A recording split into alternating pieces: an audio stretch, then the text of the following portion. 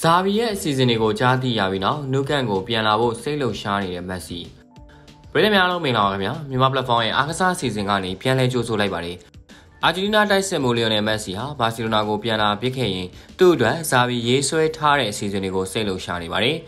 ဒီနေ့ရာသီကုန်မှာ PSG နဲ့စာချုပ်တက်တန်းကုံဆုံးတော့မဲ့မက်ဆီဟာအသင်းအောက်ဘာစီလိုနာကိုပြန်လာဖို့အလားအလာများနေတာလည်းဖြစ်ပါတယ်။ မက်ဆီယာ PSG နဲ့စာချုပ်တက်တန်းတစ်နှစ်တိုးခွင့်ရှိပေမဲ့ဇာတိကုံမှာပဲအသင်းကနေထွက်ခွာဖို့စဉ်းစားနေတာဖြစ်ပါတယ်။ PSG အနေနဲ့မက်ဆီကိုဆက်ထိန်ထားခြင်းနဲ့ဆန္ဒတွေရှိနေပေမဲ့လည်း FFP စီးမင်းအနေနဲ့ညီစွန်းနိုင်တဲ့အခြေအနေတွေကြောင့်လောကကန်ရခတ်နေတာလည်းဖြစ်ပါတယ်။မက်ဆီယာဆော်ရီလီဂကလပ်တွေစီကလည်းစံချိန်တင်လောက်ခလာစာနဲ့ကမ်းလှမ်းခဲ့တာတွေရှိခဲ့ပေမဲ့အာဂျင်တီးနားအသင်းကောင်းဆောင်ကတော့ဒီဘက်ကန်ပိုင်ဆိုင်တဲ့အင်တာမိုင်ယာမီကိုပြောင်းရွှေ့ပွဲရှိနေတယ်ဆိုတဲ့ကောလာဟာလာတွေလည်းထွက်ပေါ်နေပါတယ်။ လူကမှာ16နှစ်ကြာဖြတ်တန်းခဲ့ပြီးနောက်မက်ဆီယာ2021-2022ဘောလုံးရာသီတုန်းကဘာစီလိုနာရဲ့ဘန်နာရေးခြေတွေကြောင့်အသင်းကနေမထွက်ချင်ပဲထွက်ခွာခဲ့ရတာဖြစ်ပါတယ်။လက်ရှိချိန်မှာဘာစီလိုနာအနေနဲ့မက်ဆီကိုခေါ်ယူရမှာဘန်နာရေးဆိုင်ရာပြဿနာတွေရှိနေသေးပေမဲ့နီးပြဇာဗီကတော့အာဂျင်တီးနားတိုက်စစ်မှုကြီးပါဝင်လာမဲ့အစီအစဉ်တွေကိုရေးဆွဲထားပြီးဖြစ်ပါတယ်။ စပိန် channel လေးဗယ်လာကိုရဲ့ပြောပြချက်အရလာမယ့်ရာသီမှာဘာစီလိုနာရဲ့အဓိကရွေချက်ဟာမက်ဆီကိုပြန်လည်ခေါ်ယူရေးဖြစ်ပြီးအဲ့ဒီအတွက်လက်ရှိနီးပြဆာဗီနဲ့ဥက္ကဋ္ဌလာပေါ်တေးတို့အကြားဆွေးနွေးတိုင်ပင်ပြီးလည်းဖြစ်ပါတယ်ဘယ်လာကူကမက်ဆီနဲ့လာပေါ်တေးတို့ကြားစကားမပြောပြခဲ့ကြပေမဲ့ဘာစီလိုနာအနေနဲ့မက်ဆီကိုပြန်လည်ခေါ်ယူရေးကအဓိကကိစ္စတစ်ခုဖြစ်ပါတယ်ဒီလိုဖြစ်ရတဲ့အဓိကအကြောင်းရင်းကလက်ရှိနီးပြစာပေကြောင့်ဖြစ်ပြီးစာပေကမက်ဆီရဲ့အရေးချင်းတွေကိုသူ့ရဲ့လူစင်းမှာပေါင်းထည့်ချင်နေတာဖြစ်ပါတယ်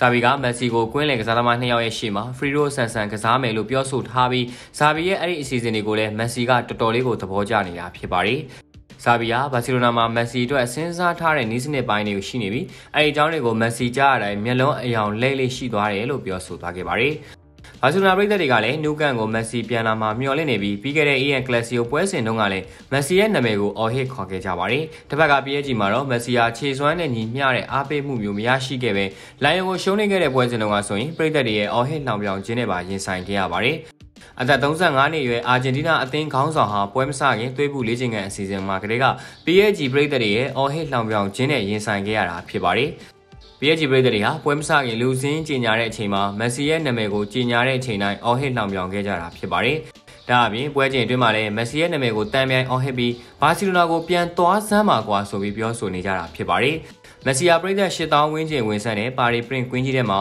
အင်ရှင်ပြည်သက်တွေရဲ့လှောင်ပြောင်တန်တွေနဲ့ရင်ဆိုင်ခဲ့ရတာဖြစ်ပါတယ်။မက်ဆီရဲ့ဘာစီလိုနာအသင်းပေါ်ဟောင်းတူဦးဖြစ်တဲ့ဟွန်နယ်ဒီကိုတိုင်ဟာ PSG ပြည်သက်တွေရဲ့အော်ဟစ်လောင်ပြောင်တန်တွေဟာရှက်စရာကောင်းလွန်းတယ်လို့ပြောဆိုသွားခဲ့ပါတယ်။ ဟော်နယ်ရီကဒီယာဒီမှာ73ဂိုးသွင်းပြီး73ဂိုးဖန်ပြီးပေးထားတဲ့အသင်းရဲ့အကောင်းဆုံးကစားသမားတွေကတယောက်ကိုမကြည်မနဲ့ဖြစ်နေလို့မရပါဘူးအဲ့ဒါကရန်ကိုရှက်စရာကောင်းပါတယ်ဘာဆန်နယ်ခန်းစားချက်အရဥရောပမှာဆိုရင်ဘာစီလိုနာမှာပဲမက်ဆီရဲ့ကစားသမားဘဝကိုအဆုံးသတ်စေချင်ပါတယ်အဲ့ဒါပြီးရင်သူဘာတွေဆက်လုပ်မလဲဆိုတာကျွန်တော်မသိပါဘူးသူလှုပ်ချင်တာအကုန်လုပ်ပြီးမှဘာစီလိုနာကထွက်သွားတဲ့ပုံစံမျိုးကိုကျွန်တော်မကြိုက်ပါဘူးသူတာဘောလုံးကိုတကယ်ချစ်တယ်ဆိုရင်ဘာစီလိုနာကိုပြန်သွားတင်တယ်လို့ပြောဆိုသွားခဲ့ပါတယ် မက်ဆီတယောက်ဘာစီလိုနာကိုပြန်လဲရောက်ရှိလာတော့မှာလားမြန်မာပလက်ဖောင်းမိသက်ကြီးကဘယ်လိုများထင်မြင်မိပါသလဲကွန်မန့်မှာဝင်ရောက်ဆွေးနွေးပေးသွားလို့ရပါတယ်